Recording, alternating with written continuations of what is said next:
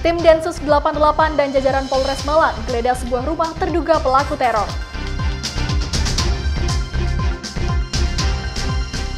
Ratusan sopir angkot tuntut penertiban angkutan berbasis online. Aksi lawan terorisme lewat menyalakan seribu lilin.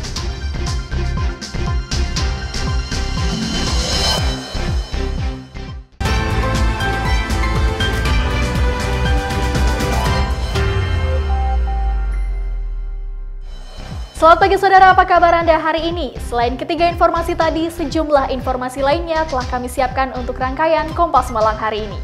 Selama 30 menit ke depan bersama saya Hanila Rasati, inilah Kompas Malang di Kompas TV, independen terpercaya.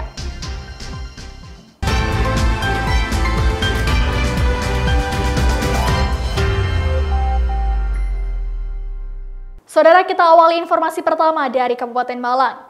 Pemilik rumah di Jalan Kapis Raba 11 Sau Jajar Malang yang digeledah oleh tim Densus 88 pada Senin sore dikenal ramah meski tertutup. Siti Rohaidah yang diamankan di Surabaya dikenal tetangga sebagai penjual telur asin, sedangkan sang suami bekerja di kantor pos.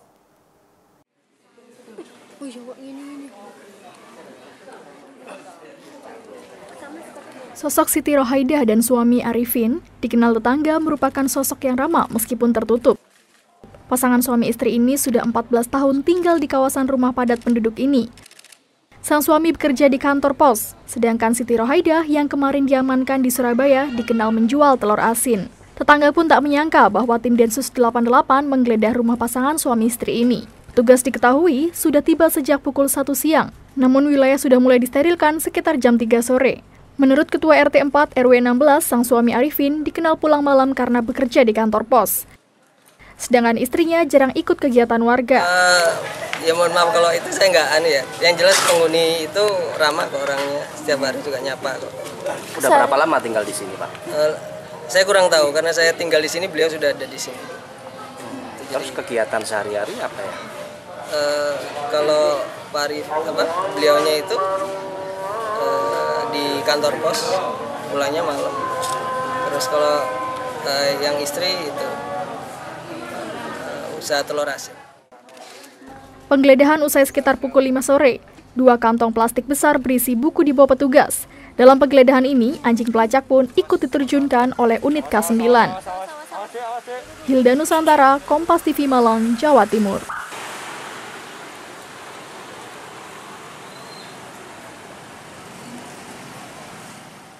Masih dari pengamanan terduga pelaku teror di Kabupaten Malang.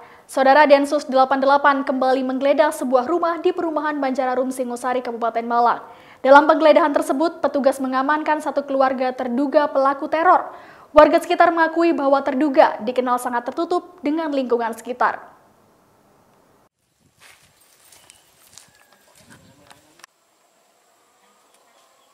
Dalam penggeledahan yang berlangsung sekitar pukul 2 dini hari, petugas mengamankan satu keluarga, yakni SA Syamsul Arif alias Abu Umar 37 tahun, serta istrinya WMW, Wahyu Megawijayanti 40 tahun dan seorang putrinya. Ketiganya diamankan di rumahnya di perumahan Banjara Romasri, Blok BB nomor 9 Singosari, Kabupaten Malang.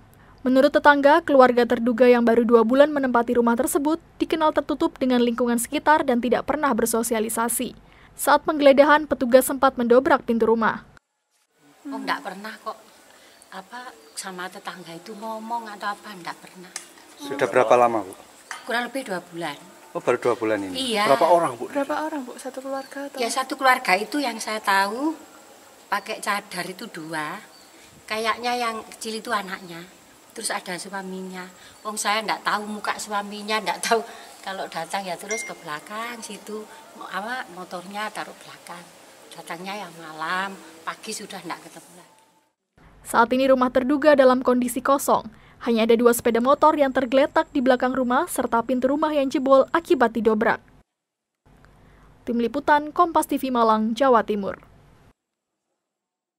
Sementara itu, saudara, sebuah rumah terduga pelaku teror di Jalan Tenaga Dusun, Turi, Desa Kepuharjo, Malang, Jawa Timur pada selasa siang ikut diamankan. Dalam penggeledahan ini, petugas mengamankan seorang penghuni rumah dan membawa satu buah kardus.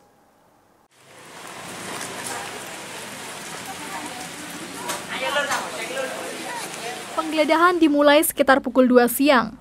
Menurut warga sekitar, rumah ini dihuni oleh Kristianto beserta istri dan tiga orang anaknya. Dalam keseharian mereka dikenal tertutup dan dikenal sempat berjualan tahu keliling.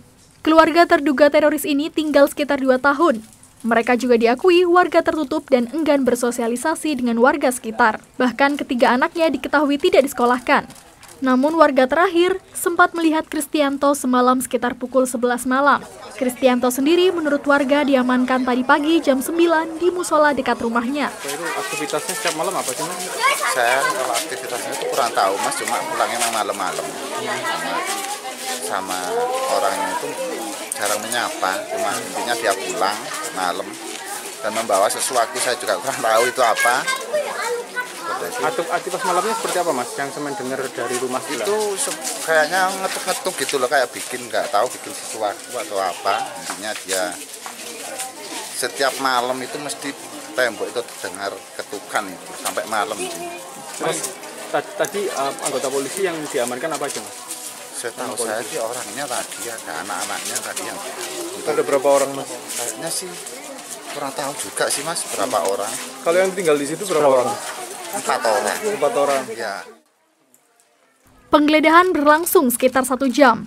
Petugas membawa satu buah kardus usai penggeledahan. Sebelumnya, tim Densus 88 dan jajaran Polres Malang juga mengamankan tiga terduga teroris di Banjararum, Singosari. Hingga saat ini belum ada konfirmasi resmi dari pihak kepolisian. Tim Liputan Kompas TV Malang, Jawa Timur. Usai jeda berikut saudara akan ada aksi dari ratusan sopir angkot yang menuntut penertiban angkutan online. Tetap di Kompas Malang di Kompas TV, independen terpercaya.